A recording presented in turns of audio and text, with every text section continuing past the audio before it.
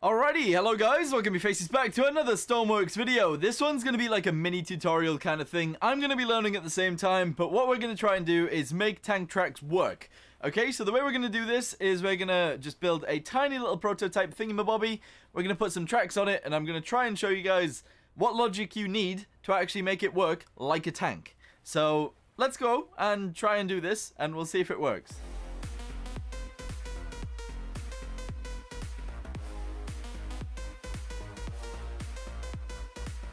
Okay, so I was just experimenting, and this is a vehicle I've created. It does actually work, so let's go ahead and I'll show you guys how it works. Uh, it is inverted at the minute. I just need to change the uh, the threshold gates, and that's it. So at the minute, W makes it go forwards. Uh, S should make it go backwards. Yep, there we go. Uh, if we want to turn left and right, we go ahead and we press A, and that'll start turning us left. Well, actually, that'll start turning us right. It's because it's inverted at the minute. And if we press D, it'll start turning us left. Now, at the minute, it doesn't appear to want to spin on the spot, uh, which is something that I kind of want, but um, maybe that's because it's not powerful enough. It might be the case. Yeah, it seems like it might be the case. Anyway, I'm going to show you guys how to create this thing real quick. So, let's start again. Okay, so this is how we're going to do it. Uh, we're going to go ahead and do this real quick. We're going to make a big old platform so that we can actually build on it. There we go, there we go, there we go. We're going to go ahead and put the tank track in. We're going to go ahead and put the wheel of the tank track in. That'll connect them both together. They have to be the same size, otherwise they won't work. They won't connect to each other. All right, cool. We're going to go ahead and put a small motor in, just for the tests. There we go. We're going to go ahead and put a big battery at the back. That's okay. And we need to go ahead and get a pilot seat, or something that we're going to use as a control, to put in the middle. Okay, let's go ahead and put that right there. Good. Uh, right, okay, so the next things that you need is a threshold gate. We're going to go ahead and put that right there. And a numerical switch box. There we go, good.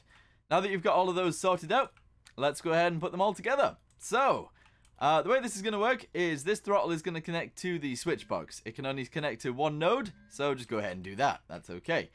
Uh, then you go from the switch box off position to W and S. Do the same on the other one as well. There we go. Good. The uh, threshold gate thingamabobby is going to go to A and D on both of them. That's all A-OK. We then need to go ahead and give everything power. There we go. You've got power, you've got power, and they've all got power now. That's good. And then what you want to do is you want to go into select, click on this, go ahead and make the threshold uh, 0.2. There we go. On the other side, make it not, uh, minus 0.2. There we go. So they can overlap and they can go forwards at the same time. That's okay. On the one with the positive value, you want it to be 1. On the one with the negative value, you want it to be minus 1. And that is pretty much it, I believe. So if we go ahead and we spawn it in, let's see if we can make it drive properly. There we go. There we go. Wow. Okay, it's way longer than the previous thing, but we can make it go forwards. We should be able to make it go to the right and to the left. But we can't. but we can't. Why? Why not? Okay, hold on. Uh, is that connected to A and D? It is. Everything should be right. Off value. Off value. Oh, there we go. You need to connect these two up as well. Uh, and that'll allow the on signal to actually go through. So that's one thing that I forgot. Um, but I am learning the same time as you guys, so there we go. Uh, now the track should go at the same speed forwards. We should be able to turn to the right. There we go. And we should be able to turn to the left as well if we go ahead and we press A. There we go. Beautiful. So, anyway, I'm going to leave this here for now. I'm going to say thank you guys for watching. This is a quick tutorial on how to actually do this. I will upload this vehicle so you guys can actually look at it, maybe take the parts off it and just, just copy and paste it in if you need them. Um, it is a very simple uh, way of doing things, but um, yeah, obviously you guys will be able to do it now. Anyway, thanks for watching. Hope you guys enjoyed it. See you guys in the next one. Goodbye.